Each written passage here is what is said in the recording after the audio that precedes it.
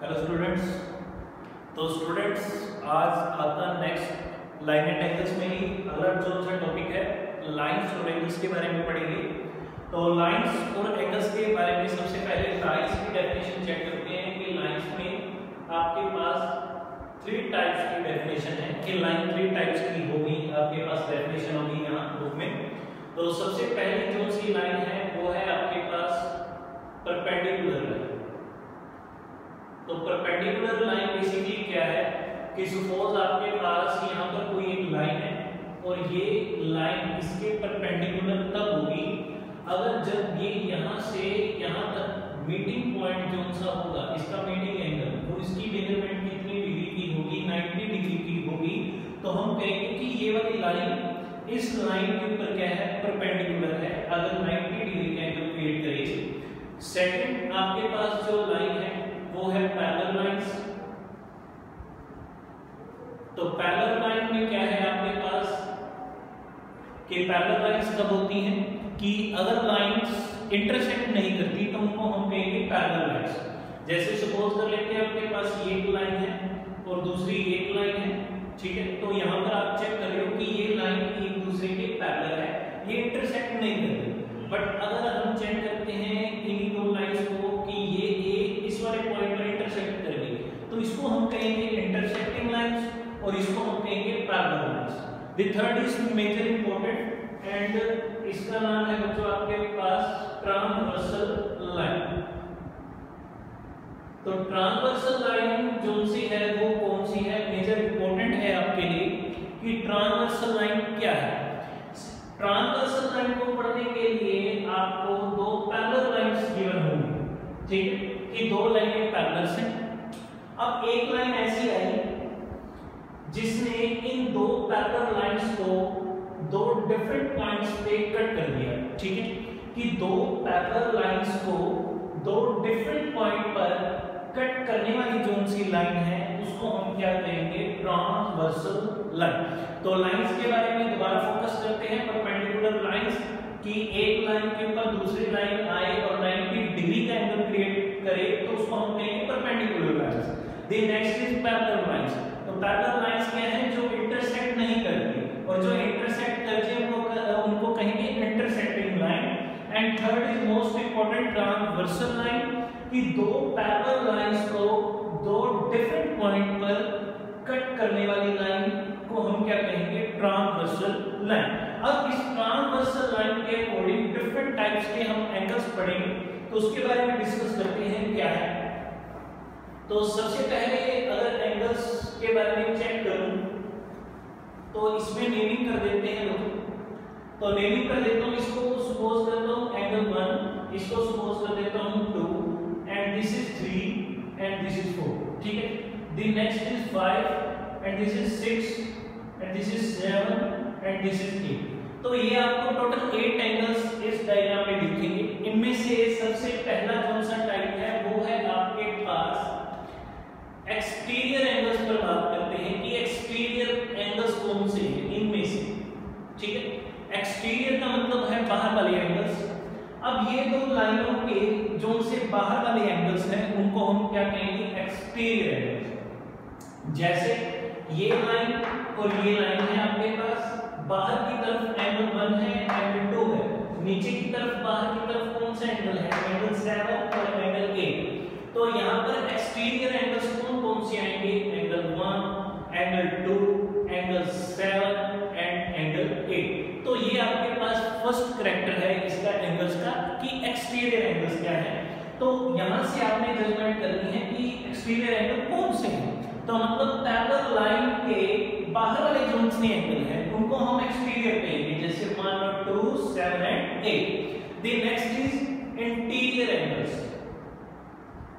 तो interior angle उसके opposite हो जाएँगे कि जो पैरेलल लाइन के अंदर वाले एंगल्स हैं तो ये दोनों लाइन पैरेलल है इसके अंदर की तरफ़ कौन कौन से एंगल हैं? 3 4 5 एंड 6 तो इसको हम क्या कहेंगे? Interior angles angle 3 angle 4 angle 5 and angle 6 are interior angles तो एक्सटीरियर एंगल्स पता चल गए? इंटीरियर एंगल्स पता चल गए? अब जो सा मेजर इंपॉर्टेंट है, वो है आपके पास कोरस्पोंडिंग एंगल्स कोरस्पोंडिंग एंगल्स तो कोरस्पोंडिंग एंगल्स चेक करते हैं आपके पास क्या है। कि कोरस्पोंडिंग एंगल्स में क्या है कि अगर मैं इस पैरेलल लाइन को चेक करूँ, ठीक है? तो ये भी पैरेलल लाइन है, ये दोनों लाइनें पैरेलल हैं। ठीक है, अब यहाँ तक का मार्जिन आप चेक करो सिर्फ़ कि ये वाला और ये वाला, ठीक है? अब इस पैरेलल लाइन के ऊपर वाला एंगल इस साइड वाला एंगल 1 है और इस पैरेलल ठीक है? तो एंगल 1 और एंगल 5 क्या बनेंगे? कोरस्पोंडिंग एंगल्स तो एंगल 1 का कोरस्पोंडिंग है एंगल 5 और एंगल 5 का कोरस्पोंडिंग है एंगल 1 अब सेकंड पेयर की बात करते हैं। अगर मैं चेक करूँ एंगल 4 के कोरस्पोंडिंग कौन सा एंगल होगा? तो देखो, ये दो पैरेलल लाइनें हैं। ये इस इस पैरेलल लाइन के और इस पैरेलल लाइन के जो नीचे वाले एंगल्स हैं वो एक दूसरे के कोरस्पोंडिंग होंगे तो एंगल 4 का कोरस्पोंडिंग होगा एंगल 8 अब सेम ऐसे दूसरे वाले पार्ट में चेक करते हैं, जैसे यहाँ से अगले वाला पार्ट है। तो ये लाइन इस लाइन के पैरेलल है। इस लाइन के ऊपर वाला अगर एंगल चूज़ करता हूँ एंगल 2 तो इस लाइन के ऊपर वाला एंगल कौन सा है? 6 ठीक तो ये दोनों एक दूसरे के कोरस्पोंडिंग होंगे। ये इसके कोरस्पोंडिंग ये वाला एंगल है। अब 3 के जो कोरस्पोंडिंग होगा वो कौन सा एंगल होगा? एंगल 7 ठीक है? कि angle 3 is corresponding to angle 7 तो कोरस्पोंडिंग एंगल्स का ये मतलब है कि आपके पास ये दो लाइनों के ऊपर वाले कौन से एंगल हैं? जैसे एंगल 1 और एंगल 5 तो ये दोनों एक दूसरे के कोरस्पोंडिंग होंगे। इतने मार्जिन में बस आपने चेक करना है अभी के लिए। फिर आपने एंगल 4 के कोरस्पोंडिंग एंगल 8 और फिर उस साइड अगर मैं चेक करूँगा ऊपर वाले एंगल 2 और एंगल 6 और नीचे वाले एंगल 3 और एंगल 7 तो इनको हम कहेंगे कोरस्पोंडिंग एंगल्स अब कोरस्पोंडिंग एंगल्स पर बच्चों एक प्रॉपर्टी होती है, कि क्या प्रॉपर्टी है कोरस्पोंडिंग एंगल्स में? कि जो कोरस्पोंडिंग एंगल्स होते हैं, वो इक्वल होते हैं. ठीक है? कि जो कोरस्पोंडिंग एंगल्स होंगे, वो इक्वल होंगे. इसका ये मतलब है कि एंगल 1 जितने डिग्री का होगा, उतने ही डिग्री का एंगल 5 होगा. और एंगल 4 जितने डिग्री का होगा, उतने ही डिग्री का एंगल 8 होगा। सेम एज इट एंगल 2 जितने डिग्री का है, उतने ही डिग्री का एंगल 6 है। तो कोरस्पोंडिंग जो एंगल्स होते हैं, उनमें क्या प्रॉपर्टी होती है कि वो एक दूसरे के इक्वल होते हैं। अब नेक्स्ट है जो आपके पास, वो है अल्टरनेटिंग एंगल्स कि अल्टरनेटिंग एंगल्स क्या है? अल्टरनेटिंग एंगल्स क्या है, वो चेक करते हैं। अब अल्टरनेटिंग एंगल्स में दो चीज़ों पर बात करते हैं कि alternate interior angles and alternate exterior angles ठीक है? अल्टरनेट इंटीरियर एंगल्स और अल्टरनेट एक्सटीरियर एंगल अब जहाँ पर अल्टरनेट आएगा, बस आपने क्रॉस में चेक करना है, ठीक है? फिगर के अराउंड क्रॉस में चेक करना है। तो अगर मैं इंटीरियर की बात करूँ कि अल्टरनेट एंगल्स कौन से हैं?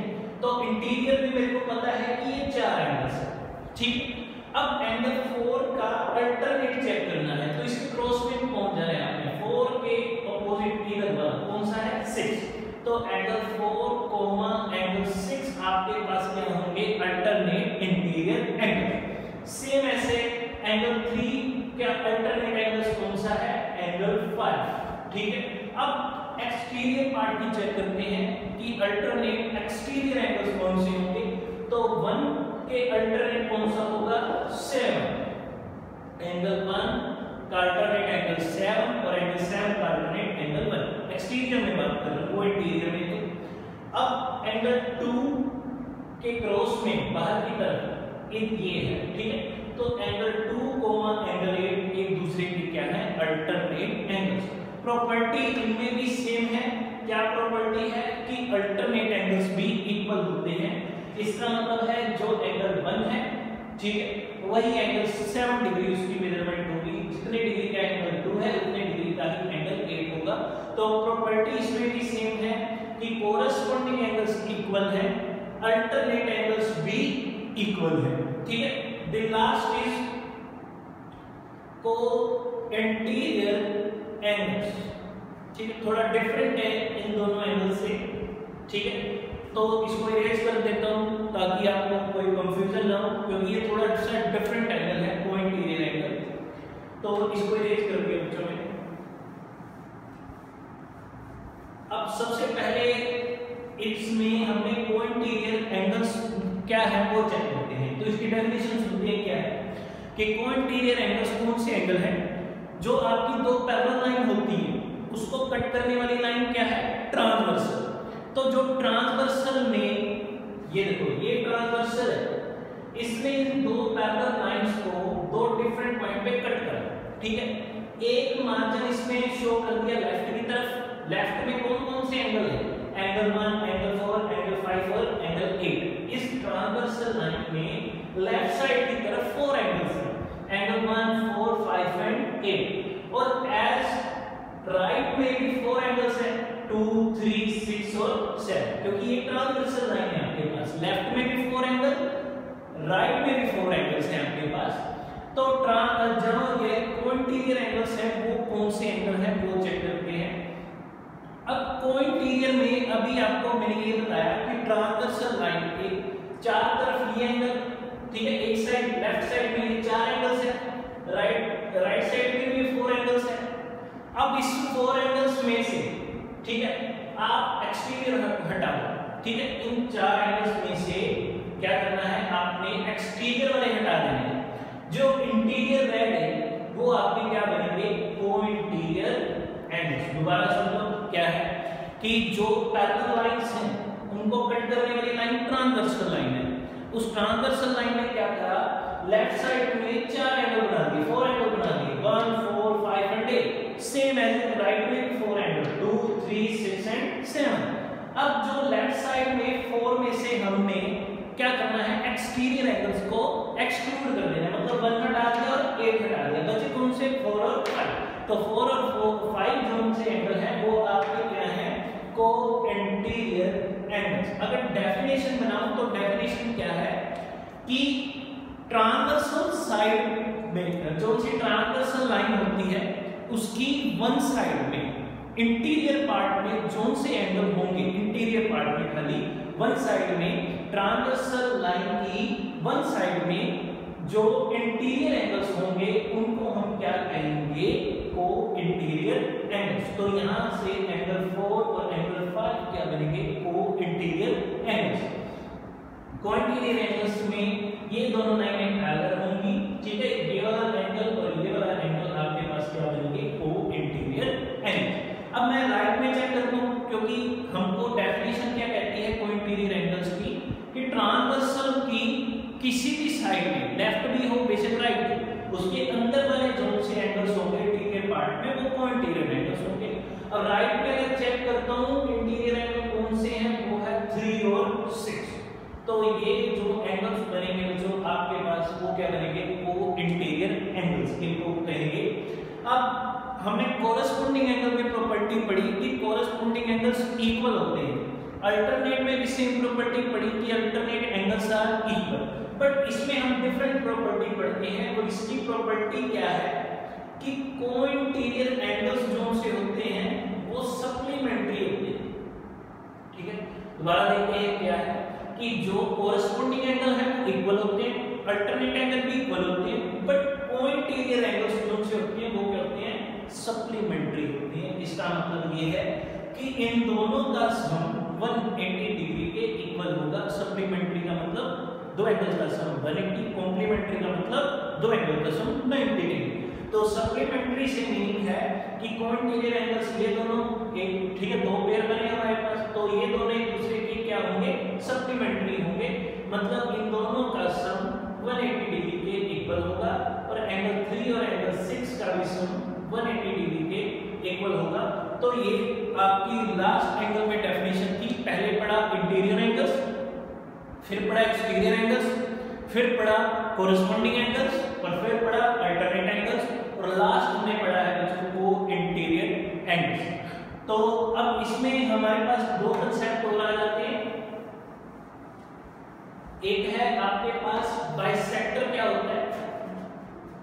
Bisector of a line segment कि एक लाइन सेगमेंट का बाइसेक्टर क्या है? सपोज़ आपके पास ये लाइन है कोई भी। ठीक है? अब इसमें आपने दो एक पॉइंट फिक्स कर दिए ए बी ठीक है? तो ये लाइन सेगमेंट बन गई अब इसमें क्या है कि बाइसेक्टर करना है इसका। एक ये लाइन आई ठीक है? इसने यहाँ से, यहाँ तक के पोर्शन को और यहाँ से, यहाँ तक के पोर्शन को इक्वल कर दिया, ठीक है? इस लाइन के आने से हम सपोज़ करते हैं ये 20 सेंटीमीटर की लाइन थी। ये लाइन ने क्या करा 10 सेंटीमीटर का मार्जिन इधर शिफ्ट कर दिया।